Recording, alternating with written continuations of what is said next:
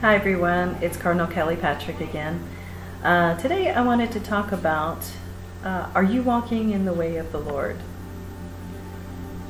Now, the first indicator is um, ask yourself the question uh, do you love God and do you love each other? Okay. Part of loving God is respecting Him and His Son and following in His way which is to love God and love each other. Then you're walking in His pathway, then you're walking in His way. But if you have not consistently maintained that, then you're struggling. You're undergoing some spiritual warfare, or you're just having some problems with maturity, or it might be a little touch of self centeredness or guilty, you know, conscience. Some people tend to project whenever they feel like they have not fulfilled or they fall short of something. Well, whatever it is, I'm not a psychologist, but I've observed human nature quite a bit, and it just seems to go hand in hand. But we've got to work on this. I mean, God and His Son are the ones that grant you your salvation, or not.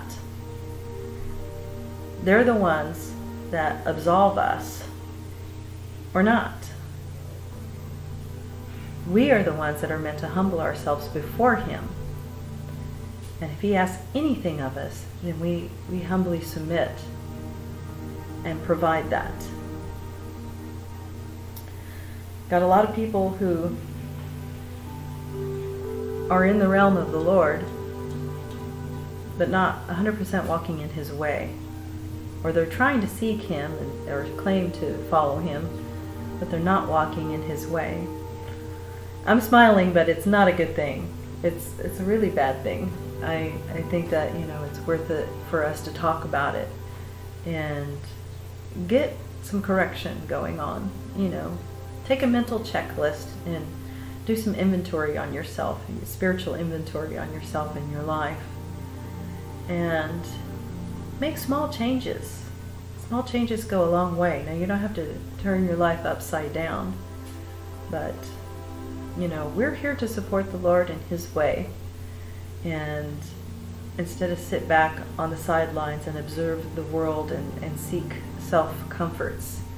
You know, I keep hearing people to discuss about what their preferences are, and that just doesn't go hand in hand with the way of the Lord. I prefer a lot of things too, um, but I don't always get my way. You know, I do get what I need, and I'm very thankful and grateful. And you know, I think it's time to just learn to love God and love each other in every moment and every day and every way. Otherwise, you're really not serving Him. You're really not in His path. Especially if you're going to question Him. A lot of people are like, God, why'd you do this to me? Well, you're probably fucking up. You need time to get your shit together. And speaking of time, a lot of our fine priests, priestess, and uh, clergy of the Lord in general, uh, the Ecumenical Order of Christ, have been doing some wonderful video sermons and lessons. And one that stood out recently was about time. And, you know, when is the great day going to come?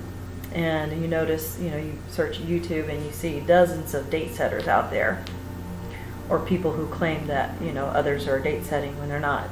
It's like a war of dates. It's really crazy. Anyway, who gives a flip about the date if you haven't got your shit together? Okay, it's going to be on this day. But you know what? Is he going to take you?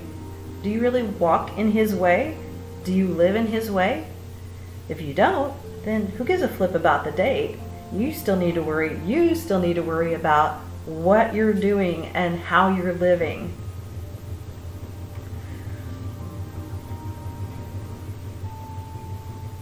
Who cares about the date? It's another test. It's another distraction. Satan's here to test mankind. They are the ones that make the choices, good or bad. He just reveals them for what they are.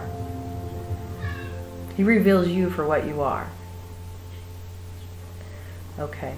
So you can talk about the date all you want to, but again, if you aren't living according to His way and you're not humbling yourself to submit to Him, to walk in His way and what He asks of you, then you got to back up a few paces and relearn. And you're going to have to keep doing that until you learn implicitly.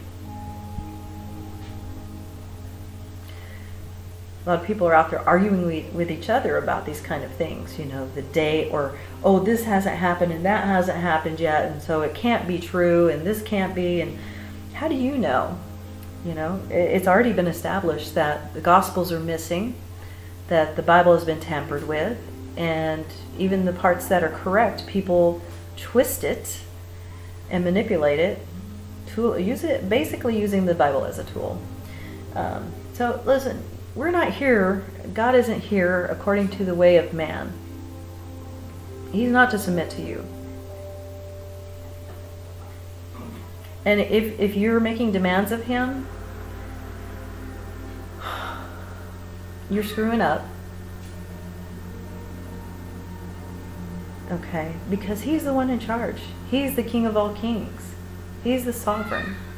He's your salvation. He's the one that determines if your sins have been absolved or not. Have you forgotten? Earth is like one giant educational institution for spiritual maturity.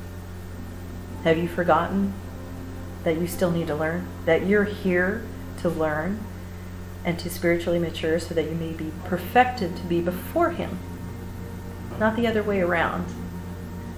Yeah, we yearn to see him. We look forward to the great day of the Lord. But this is not a buffet. Okay? You're just not going to get what you want without any effort. You know, if you're not out there helping your brother or sister and you're living a selfish life and seeking only the comforts, you know, the perks of paradise, but you're not living in the way of the Lord, what makes you think that you're even going to enter? Because the purpose of the new kingdom, paradise ever after, heaven on earth, is to not reperpetuate what man has perpetuated that has poisoned the earth, literally and figuratively. So recheck yourself, get focused, get your shit together. Humble yourself. You may call him brother, but he's your master. He is your Lord. He is the one that's taught you and evolved mankind over the decades. Without him, we'd still be cavemen, basically. Primitive ways, primitive thoughts. And some of us still struggle with those primitive ways and primitive thoughts. You read the Bible, you remember prophecy, and you're staying focused then you remember not to question the Lord, not to judge him, not to negotiate. It's what Satan tried to do with him. You know, but you could have all of this if you just submit to me. No. We submit to the Lord and his Father and his way. He is a humble teacher. He will ask that you not worship him. But to worship God and His way. But let's face it, He's got his shit together. We don't. We're the ones that don't have it together. So stop doing what you're doing and fix it. Just fix it. You know, it might be a little uncomfortable, but you're electing to be a light in the world if you get out of your comfort zone and reach out to you, your fellow brother your fellow sister, your selfishness. I might be talking to quite a few people here. Not a single person. I can definitely say that. But you know who you are and what you need to work on. I'm not going to poke your eye out because I'm sure I've got a plank here that I got to work on. You know, I I struggle with lots of things, but I'm here today to remind you that you're to work on yourself, to focus on yourself, and do what God is asking you to do. Just to wake up, awaken, and, and do what you're supposed to do to love God and love each other. And then you're walking in His way. Then you're working according to His will. Otherwise, you cannot claim it or say it.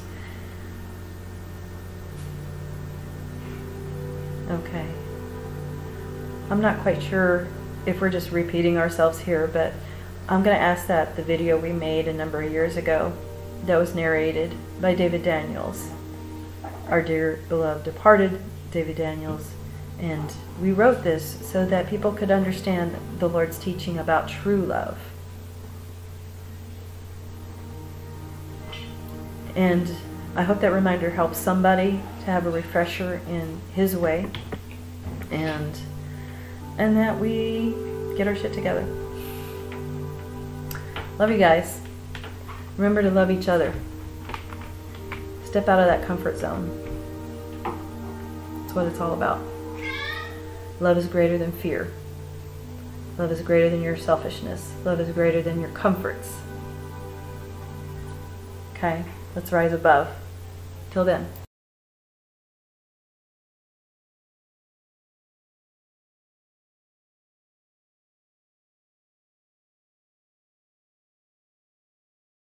What does it truly mean to love God and love one another?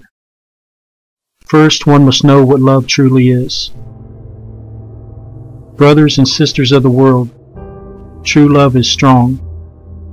As per the words of Imperial Regent Angelus Domini, it's hard to quantify. There is a modern lie that has deluded society. That is the belief that true love equals unconditional love. But unconditional love is a damaging fantasy. Someone can love a painting or a sonnet or the way the moonlight reflects on the water, but in none of these scenarios does the object of love return that emotion in kind. True love is something shared between at least two beings in relatively equal measure, but the key word is shared because it cannot be unconditional. If one partner adores the other loyally and faithfully while the other abuses, lies, cheats, steals, etc., that's not true love and the victim staying in such a relationship because of the belief in unconditional love is foolish. Conditions are necessary to ensure that love remains true and not a source of abuse. So when one can meet the conditions of a relationship, and so much as the love shared is healthy, mutually enriching, and reciprocal, only then can it be true love. Now I ask you all this, what are you going to do? Are you going to choose to truly love God so that you know how to love each other? With all that in mind, this kind of love does not mean looking to God for one-sided agendas and comforts, but to seek a relationship with Him. It means to exemplify His will. People fail to recognize how to truly love God. Let there no longer be a spirit of confusion. The truth makes you stronger if you receive its medicine. We need to stand united as God has willed and the Lord has sought to guide you in. It is stated in Romans and again more than once in Corinthians this example. Corinthians 12:12 to be specific. Many members, one body. For even as the body is one and yet has many members, and all the members of the body, though they are many, are one body, so also is Christ. For by one Spirit we were all baptized into one body, whether Jews or Greeks, whether slaves or free, and we are all made to drink of one Spirit. Do you understand that this is an example of God's will and true love? We have to heal together or we will crumble. We cannot do it for you. True love is just as strong as it is also kind. When a soul is in danger, you implement a love that protects, yet boldly prompts. Love also responds to that prompting.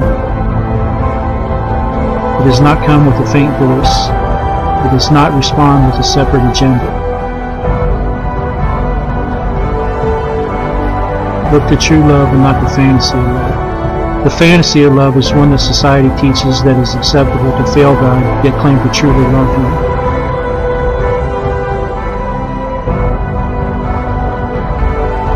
that needs to change. You have to realize right now that you will lose everything as you know it if you continue this way. The world majority stands in a false one-sided love. Again, I ask you, what are you going to do? Are you going to choose to truly love God so that you know how to love each other? For those who do understand, may God's will be done and His light shine upon you in service to the Messiah. And thanks and true love be joyous. The Lord has come. Let earth receive her King. Let every heart prepare him room true love for him. Rael is the word of God. Be joyous.